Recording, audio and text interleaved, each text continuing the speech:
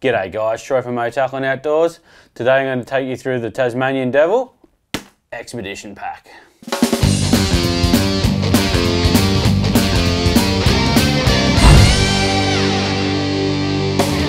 Expedition Pack is a six piece pack, so I'll go through and show you what's in it. So it comes in a great tackle box that holds all your bits and pieces. We'll go through the rest of it. So it comes with a six inch stainless steel filleting knife, German steel blade, non-stick coating, non-slip TPR handle, and nylon sheath.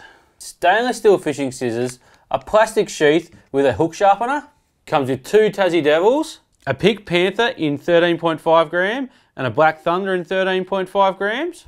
And there's also two Tasmanian Devil 3.5 gram inline spinners. And it all comes in this handy little tackle box. For more information on the Tasmanian Devil Expedition Pack, go to our website, motackle.com.au and get yourself one today.